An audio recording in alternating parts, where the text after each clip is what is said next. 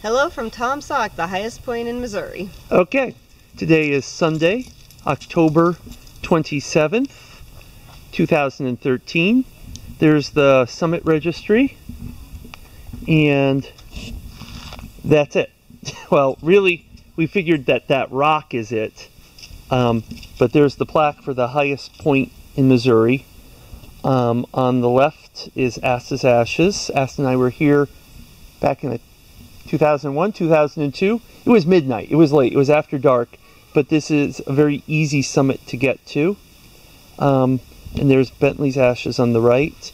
And I just want to pan around for a second so you can see that there's, well, there's a rock there, but it's not as tall as the summit rock. But if you look around, I want to say that the land in that direction is level it slopes ever so gently down in that direction towards, what is it, the Ozark Trail? I think so, yeah. Um, slopes a bit in that direction eventually, and it's a little lower in that direction. So looking around, it's like, well, how did they really tell that that plaque is the highest point? And then I said, nope, it's the rock. So there you go. There's the highest point in Missouri. Um, that takes Kim up to 35. Asta's ashes are now up to 40 states. Um, repeat for me, so I'm still at 43. And Jackson and Lacey are just along for the ride. Uh, Bentley can't be at 40 now. No, no, Ben, Asta's at 40. Or Asta Ast can't be at 40 now because he's missing no North Dakota. No, I took him to North Dakota. Okay.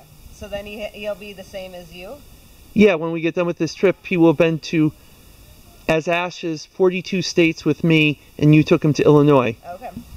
So I've, when this trip is over, we are going to Arkansas, Louisiana, Louisiana, and um, Mississippi. When this trip is done, I will have been to 42 of the 43 states since September of 2006 when Asta died.